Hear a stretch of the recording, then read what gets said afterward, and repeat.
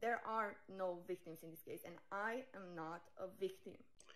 All right, man, Torture Talk. Like, share, subscribe to the page. So, this is another video that I found where one of the victims is saying that she's not a victim. this is crazy.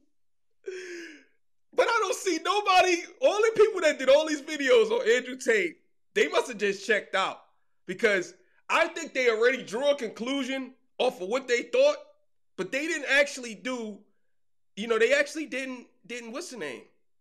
They didn't even uh do their due diligence and did some more research.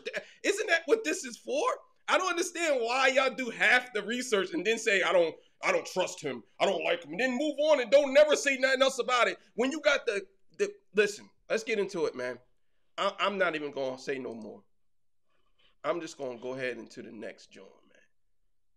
Not gonna say no more. I'm making a public request for court to remove me as a victim from the case file. Neither me nor Beatrice are victims in this case. Ever since I found out that we are set as victims in the files, I've been telling the court to remove me, but they choose to ignore it and refuses to do so. There are no victims in this case, and I am not a victim.